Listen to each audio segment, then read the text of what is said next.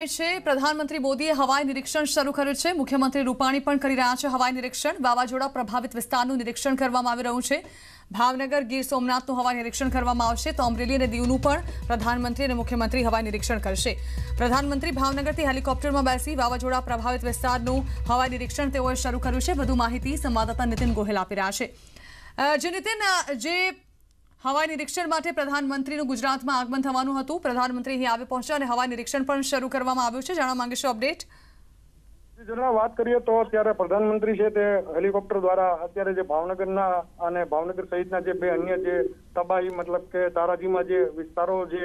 ક્ષતિગ્રસ્ત પામ્યા છે તે વિસ્તારોના હવાઈ નિરીક્ષણ માટે તેમના કાફલા સાથે ભાવનગર એરપોર્ટ પરથી નીકળી ગયા છે. ઓવરઓલ હજી પણ પોલીસનો બંદોબસ્ત અને મેડિકલની ટીમ તેમજ જે રેસ્ક્યુ માટેની ટીમ છે તે સ્ટેન્ડ રાખવામાં આવી છે. સાથે સાથે ચુસ્ત બંદોબસ્ત પણ રાખવામાં આવ્યો છે. વર્ગ એકના જે અધિકારીઓ અને પદાધિકારીઓ છે તે ટીમમાં સાથે નથી, તે ભાવનગર એરપોર્ટ પર જ છે. એટલે ઓવરઓલ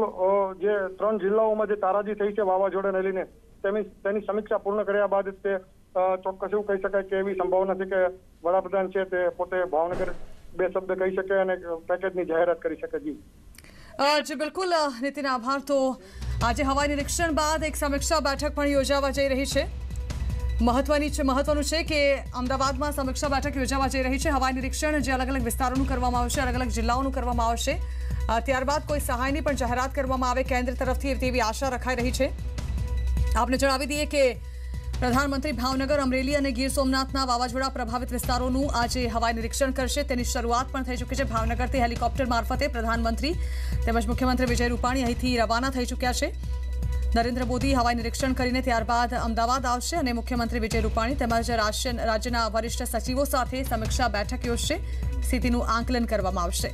આ પહેલા પણ પ્રધાનમંત્રી મોદીએ રાજ્યમાં વાવાઝોડાની સ્થિતિની અ, સામના માટે સરકાર દ્વારા કરવામાં આવેલી તૈયારીઓને લઈને મુખ્યમંત્રી રૂપાણી સાથે ટેલિફોનિક વાતચીત લગાતાર કરી હતી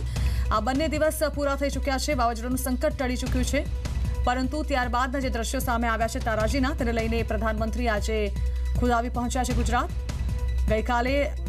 આ ગુજરાત મુલાકાતની વાત બહાર આવી અને ત્યારબાદથી તેઓ કયા કયા સ્થળ પર નિરીક્ષણ કરશે